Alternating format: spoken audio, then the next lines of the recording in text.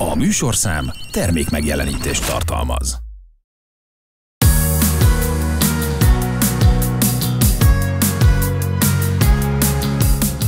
Szép napot kívánok, 1995-ben járunk. Ekkora sorkatonai szolgálat még 12 hónap volt.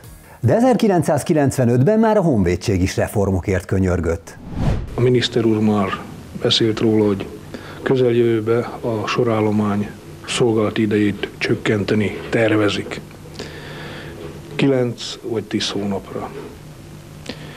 Most a szakemberek véleménye szerint a 10 hónap az egy rendszertelen váltási rendet alakítanak ki, ezért inkább hajlanak a 9 hónapos katonai szolgálatra. Most ez a 9 hónap, ez nem rövide arra, hogy a, ezt a viszonylag bonyolult haditechnikát el tudják sajátítani a katonák?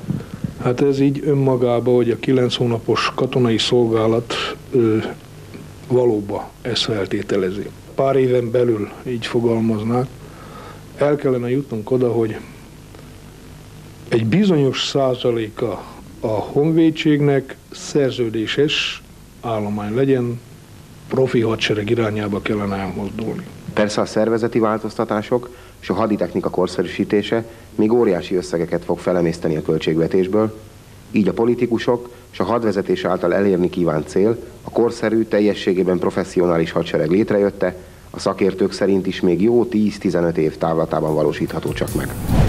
Ez volt már az egy perc retro, nem sokára ismét találkozunk valahol a múltban.